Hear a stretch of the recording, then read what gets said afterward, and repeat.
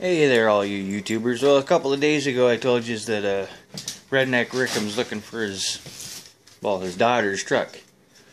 It's been located.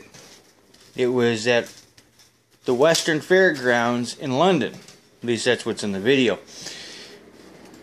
So it wasn't that far from where it is, but it was, you know, you're not going to walk there. Um, well, I might evidently. You know, he went by there a couple of times, didn't see it.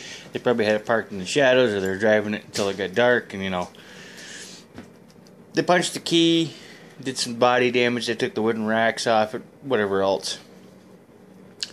But uh, she has her truck back, so right on, and hopefully they can fix it all up. Yeah, maybe uh, you guys still want to help them out. Cool, you know they got to do some repairs to that truck. Not a lot, but there is some that got to be done.